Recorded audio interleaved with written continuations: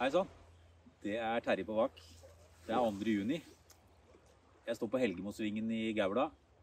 Det er ca. 400 kubikk og stigende. Dette er ikke særlig enkle forhold. eh, Og det er én ting som gjelder. Det er synkeliner. Det har jeg en løsning på til dere, som er eh, mye enklere. Mye annet. Det er eh, Nomad sine ubåtliner. Nå har jeg takla opp to stenger. En med synk 4 med T14 spiss på, og en synk 6 med T18. Det er den jeg går med akkurat nå. Det gjelder å komme ned nærmest mulig kjeften på laksen i det høye og kalde vannet. Og det gjør du enkelt med, med ubåtlinene. Eh, Bellien er ca. 5 meter lang, og vi putter på spisser på det på ca. 15 fot. Kan snike til litt lenger også hvis du ønsker det. Dette gjør synkelinefisket veldig veldig, veldig mye enklere, og dette er noe som mange syns er ganske vanskelig med tunge, tunge liner. Dette er noe du virkelig burde prøve.